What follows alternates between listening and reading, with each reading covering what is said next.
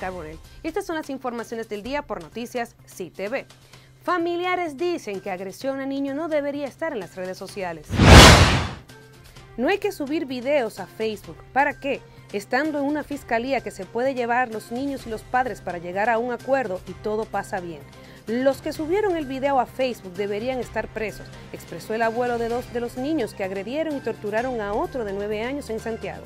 El pasado lunes se viralizó en las redes sociales un video en el que se muestra en las redes sociales un menor de edad siendo maltratado por una niña de 11 años otros de 10 y dos de 12, hecho ocurrido en el Distrito Municipal de Guayabal, provincia de Santiago.